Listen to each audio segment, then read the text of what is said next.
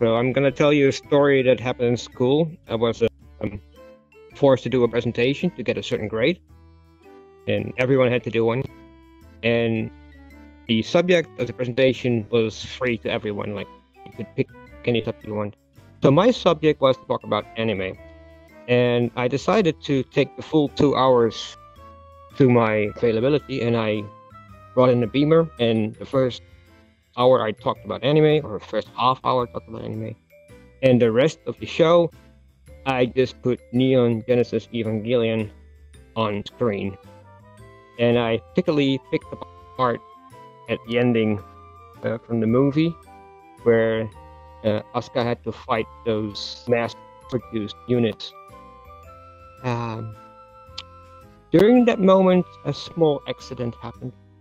One of the girls in the back of the classroom actually puked. She couldn't handle it.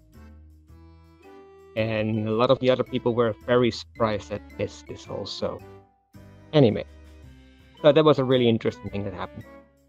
That happened, by the way, a long time ago. In the Netherlands? Not in Japan, not in America. This happened in the Netherlands. Yay! Thank you for watching, I hope you enjoyed this video. If you like it, please give us comment and subscribe our channel. See you in next video!